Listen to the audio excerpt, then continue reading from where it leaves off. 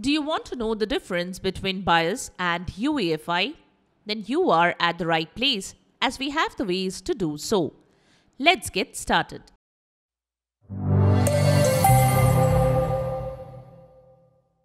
This is the Windows Club. Is UEFI better or should you use BIOS? Anyone who is interested in understanding how their personal computers work will find this video to be helpful. We explain the difference between BIOS, Basic Input Output System, and UEFI Unified Extensible Firmware Interface in depth. Let's get started. Is UEFI and BIOS the same? No, they are different. BIOS and UEFI are two firmware interfaces for computers to start the operating system. BIOS uses the master boot record MBR to save information about the hard drive data, while UEFI uses the GUID partition table GPT. What is UEFI?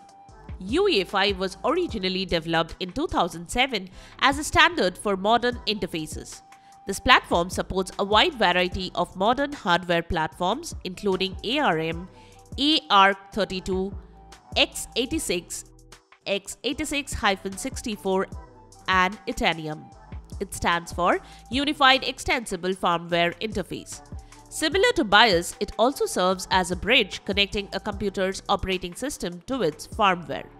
UEFI comes with a number of features and advantages that cannot be obtained through the legacy BIOS. This technology will eventually replace the BIOS entirely. In UEFI, the .EFI file stores all startup information and it is located on the EFI system partition. You will find the bootloader on the same partition. The most important thing to note here is that UEFI bypasses the BIOS post so that the operating system can boot directly. Unlike BIOS, it does not have restrictions on size, so more components can be initialized simultaneously. What is BIOS? The BIOS is abbreviated as Basic Input Output System. It refers to the computer's embedded software and is located on the motherboard's controller chip. The BIOS connects the hardware components of the computer with the operating system. It loads the bootloader, which is what boots the OS and initializes the system. When a system is turned on, the BIOS performs a power on self test process which checks for possible hardware issues. If there is an error, the system displays an error message or emits cryptic beeps to let you know what is wrong. Upon completing an initial check, the bootloader will be loaded from MBR. Difference between UEFI and BIOS BIOS and UEFI are interfaces used by computers that act as translators between their operating systems and their firmware.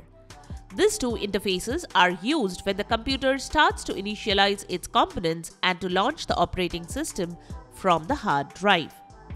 BIOS reads the first sector of the hard drive which contains the address or code needed to initialize the next device.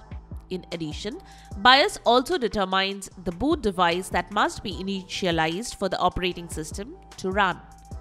BIOS continues to operate in 16-bit mode, which results in restricting the amount of code that can be accessed. On the other hand, UEFI performs similar functions to BIOS but in a slightly different way.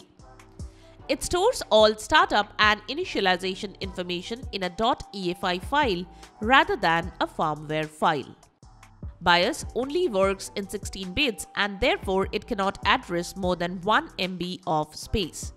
In contrast, UEFI operates in 64-bit mode, meaning it has higher addressable memory and thus it makes the booting process faster.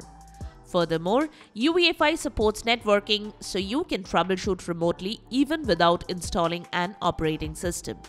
As a result, most motherboard manufacturers find it to be a much better choice in most cases. The MBR is located in the first sector of the disk, so it can be easily corrupted, making the operating system unresponsive.